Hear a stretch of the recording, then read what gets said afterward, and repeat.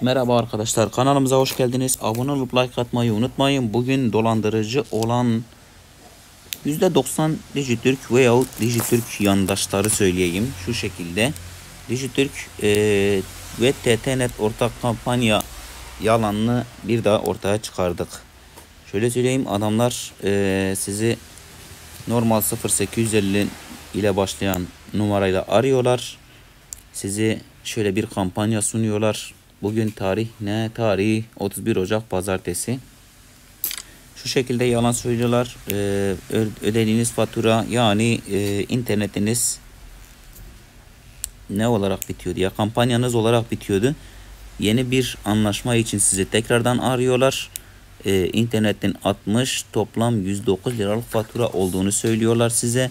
Siz de bir de bu e, teklif cazip geldiği için bu teklifi kabul etmeye çalışıyorsunuz. Ama teklifi kabul etmeden önce onlardan bir 10-15 dakika müsaade isteyip tekrardan TTNet'i arayın.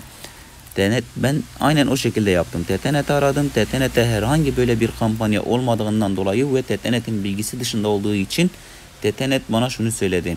Eğer kabul ederseniz hem Dijitürk hem onların sağladığı başka firma internet ve ayrıca bizim faturamız size yansıyacak. Yani 127 artı 109 TL. Bu sizin cebinizden çıkacak olan sadece ekstradan bir ücret 109 TL. İnternetinizde herhangi bir değişiklik olmayacak. İptal etmeye kalkıştığınızda bu sefer iptal de edemeyeceksiniz. Örnek olarak bunu araştırdım. En basitinden size sadece mesela şurada bir Yasemin adlı kullanıcı şuraya bir yorum yapmış. 25 Ocak Salı günü 0850 755 7373 numaralı hattan arandım. Telefonla arayan kişi Türk Telekom TTNet'ten arandığını aradığını mevcut taahhüdümün yakında yenileceğini Dijitürk Türk Telekom ortak paket anlaşması yapıldığını ve yeni tarifemde bir yıllık Dijitürk olacağını söyledi. Bunun aynısı birebir net bugün bana söylediler.